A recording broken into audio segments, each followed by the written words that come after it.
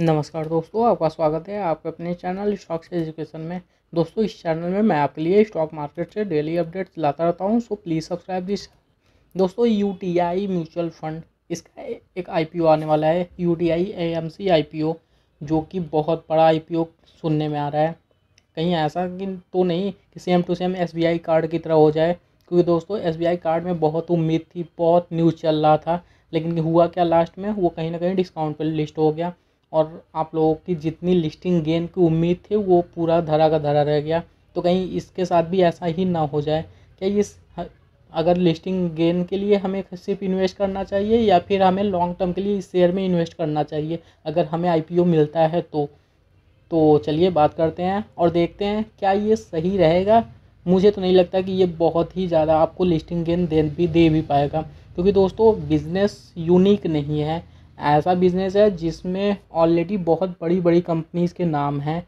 हाँ ये अलग बात है कि ये बहुत पुरानी कंपनी या फिर सबसे पहली ऐसी कंपनी है जो कि म्यूचुअल फंड को लेकर आई थी। बात सही है, लेकिन शेयर मार्केट में फीलिंग के अनुसार इन्वेस्ट नहीं किया जा सकता। उसके लिए कुछ डेटा भी होने चाहिए। तो चलिए देखते हैं क्या डेटाज हैं। तो मैं किस आधार पे कह रहा हूँ कि उतनी उम्मीद नहीं है इस शेयर से बहुत ज़्यादा कि बहुत ज़्यादा आपको लिस्टिंग गेन भी मिलेगा।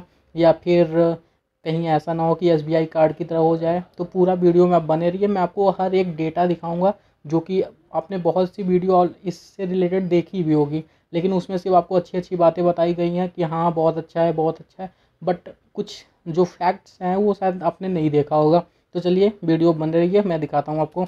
तो सबसे पहले आई आने वाला है, अच्छी बात है। तो दोस्तों, सबसे पहले ये लिस्ट है, जो कि टॉप जो ए कंपनी में बिलोंग करते हैं, उनकी है और जो कि लिस्टेड उसमें से कुछ हैं, कुछ लिस्टेड नहीं है और उनका जो ए है अंडर एसेट अंडर मैनेजमेंट उनके अकॉर्डिंग टोटल देखने के हैं कि कौन से पहले सबसे ऊपर है। तो सबसे पहले आप देखेंगे आई सी आई सी प्रूडेंट जो कि सबसे ऊपर है, तीन लाख छः हज़ार एक सौ छिहत्तर पॉइंट फाइव करोड़ के पास। वहीं H D F C mutual fund की बात करते हैं तो तीन लाख से ऊपर इनका भी तीन लाख करोड़ के ऊपर का इनका ए यू एम है। वहीं थर्ड नंबर पे आदित्य बिरला सन लाइफ जो कि है, दो लाख सैंतालीस हज़ार करोड़ से ऊपर। नेक्स्ट रिलायंस म्यूचुअल फंड दो लाख पैंतालीस हज़ार करोड़। नेक्स्ट है S B I mutual fund दो लाख अठारह करोड़। वहीं नेक्स्ट देखते हैं तो यू टी आई नेक्स्ट आता है यू टी आई जो कि एक लाख चौवन करोड़ से ज़्यादा की। यानी कि आप देख सकते हैं छः छः मतलब सिक्स नंबर पे ही आता है। तो यानी सिक्स नंबर का मीन हो गया कि इनसे ऊपर पाँच कंपनियाँ ऑलरेडी हैं। और पाँच कंपनियों में काफ़ी बड़े नाम से हैं। चाहे वो एसबीआई को आप ले लीजिए, चाहे रिलायंस को देख लीजिए, चाहे एच चाहे आई चाहे आदित्य बिरला, यानी ये वो कंपनियाँ जो पूरे मार्केट को ही कवर कर लेती हैं। तो बाकी का नाम तो बहुत बाद आता है। तो चलिए और डिटेल देख लेते हैं, जिससे और क्लियर हो जाएगा आप लोगों को। तो और कुछ मेन डिटेल पहले इस आईपीओ से रिलेटेड देख लेते हैं, जो कि आईपीओ का है। तो इसमें आप देख सकते हैं, जो मैनेजमेंट फ़ीस है seventy two point seven percent total आता है, जो कि मैनेजमेंट फ़ीस से, यानी कि जो आप म्यूचुअल फंड लेते हैं, उसके कुछ चार्जेस वगैरह जो लगते हैं, उसका seventy two percent seven percent वहाँ से आता है।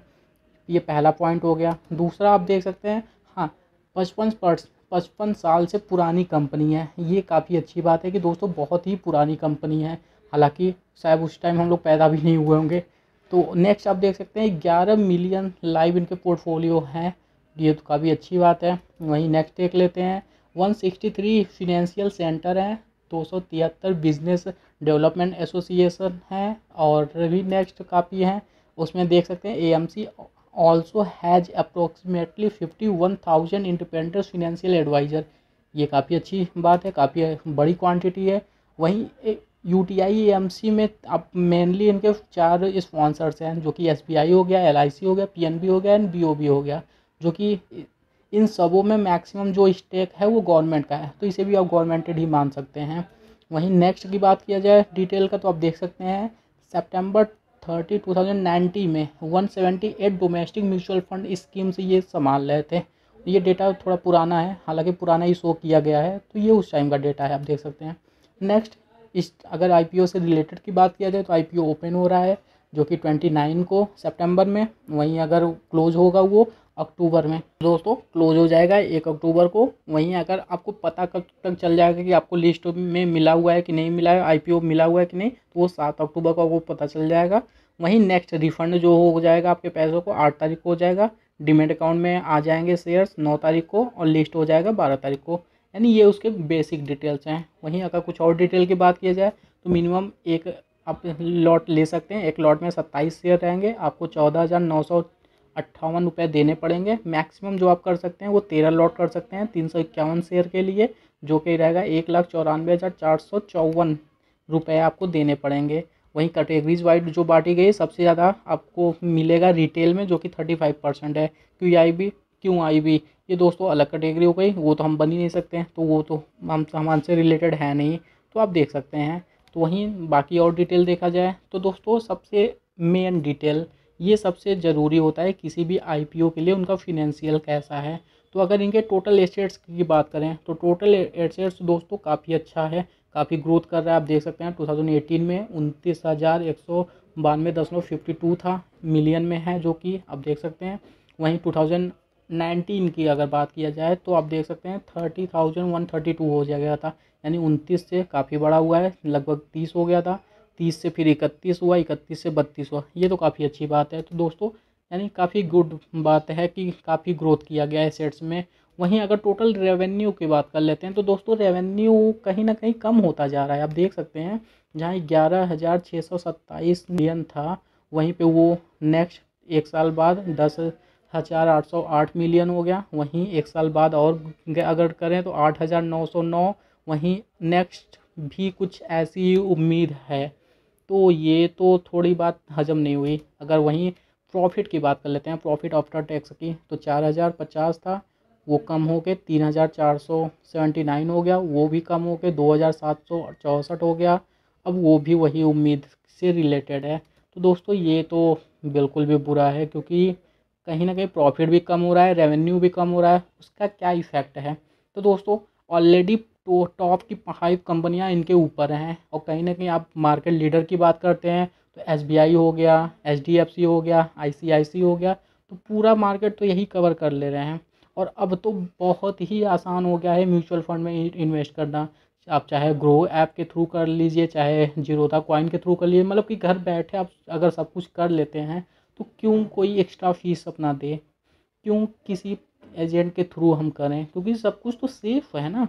ग्रो ऐप अगर कल को बंद हो जाता है बट जो आपकी ए है, जहाँ पे आप इन्वेस्ट करते हैं, वो तो चलता रहेगा। आपको अगर आपके एक पोर्टफोलियो नंबर मिल जाता है, वो वहाँ से ले सकते हैं। तो ट्रस्ट तो आपको उस कंपनी पे दिखाना है। एसबीआई का अगर आपने आई ले रखा है म्यूचुअल फंड तो आपको तो आई एस के पास जाना है। और एसबीआई आपको देगा आपका पूरा क्लेम तो इसीलिए कहीं कहीं इनका दबदबा कम होता जा रहा है प्रॉफिट कम हो रहा है रेवेन्यू कम हो रहा है। ये पिछले चार सालों का, तीन सालों का डिटेल है अभी तो एक तो आधा ही है, सिर्फ़ जून क्वार्टर तक का है।